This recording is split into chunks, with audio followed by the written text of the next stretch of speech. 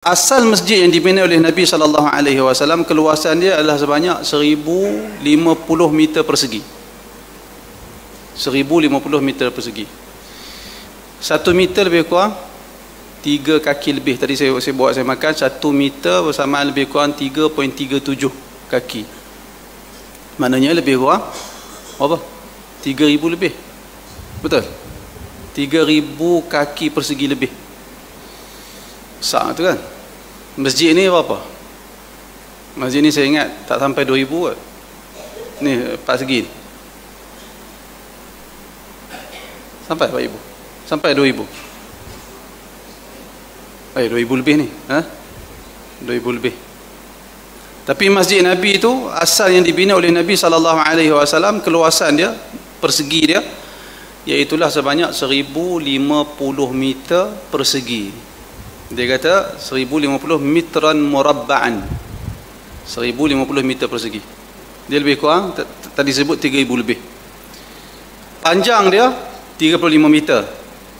Lebih kurang dalam 117 kaki persegi.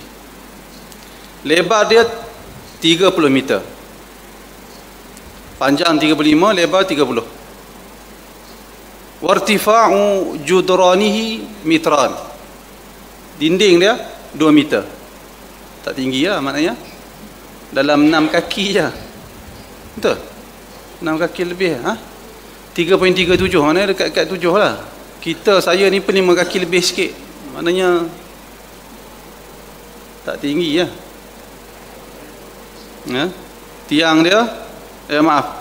Ti, ti, uh, tiang dia sekitar 2 meter.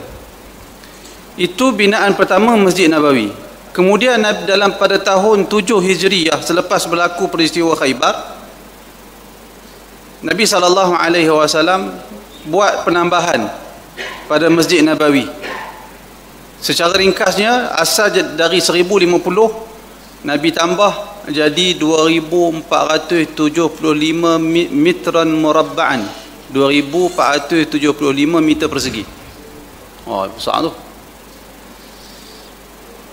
Jadi Nabi tambah lebih kurang sekitar 1415 meter persegi. Dan dinding dia naik menjadi 3.50 meter. Jadi lebih kurang 9 kaki dekat kat 10 kaki 10 kaki lah, 10 kaki lebih. Ha, tinggi. Ha, rumah kita tu rumah biasa orang ini 10 11 kan. 12 lah. Tapi siling tu tak kat sebelah kot. 12 lah, 12 begitu. Dan demikianlah masjid itu keluasannya 2475 meter persegi dengan ketinggian dinding dia 3.50 meter 3.50 meter ketinggian.